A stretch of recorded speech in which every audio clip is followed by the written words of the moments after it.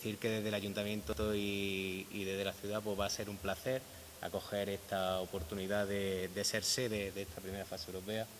que sin duda alguna el ayuntamiento va a estar y lo que desde el ayuntamiento vamos a solicitar es que a la ciudadanía que, sea consciente de que una oportunidad como esta pues sean partícipes y podamos eh, saber que, cuando un campeonato así viene a Linares, pues también su población la coge con, el cariño que el club eh, pone y con el esfuerzo que realiza y seamos conscientes de ello. Eh, desde luego que esa participación ciudadana